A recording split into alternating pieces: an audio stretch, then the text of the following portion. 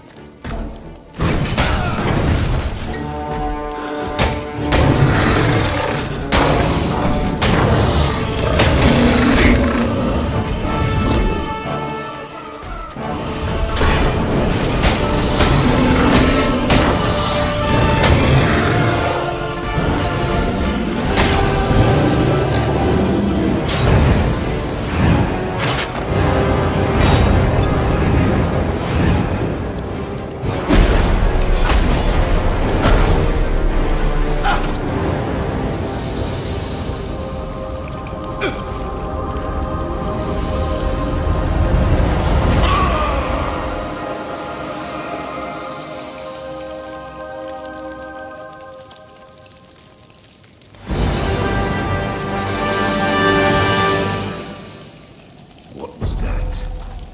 One of those lords, Kazla keeps talking about.